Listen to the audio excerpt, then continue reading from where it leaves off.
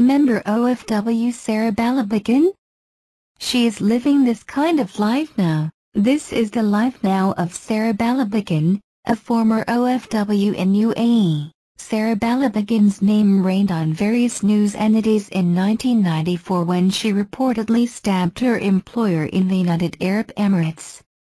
She was just 14 years old that time. However, her recruiter faked her age and declared that she was already 28 years old. The OFW, overseas Filipino worker, said that a 76-year-old employer Almas Mohammed al-Baloushi tried to rape her. She reasoned out that the 34 stabs were due to self-defense. Initially, she was sentenced to death but it was reduced to one year imprisonment and 100 lashes. Sarah showed that the lashes were unbearable.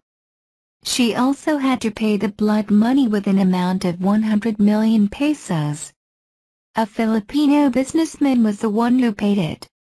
Sarah came back to the Philippines in 1996 with a hero's welcome. After more than three decades since that unfortunate event that happened to her life, where is Sarah Balabagan now?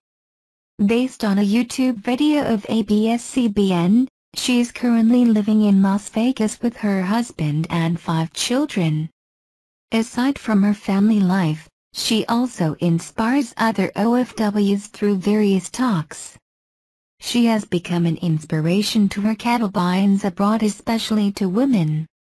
She also sings in various gatherings. The human trafficking survivor also has her own catering services now. Sarah previously believed in Muslim faith. Now she is a devout Christian. Her life is indeed an inspiration to many but despite of being happy now, she still can vividly remember how she survived from that drastic event that happened to her. Not only I was fighting for my life, not only I am fighting for my honor as a woman, but I'm fighting for my family.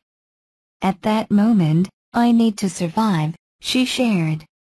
Sarah Balabagan also stressed that one should fight whatever is right,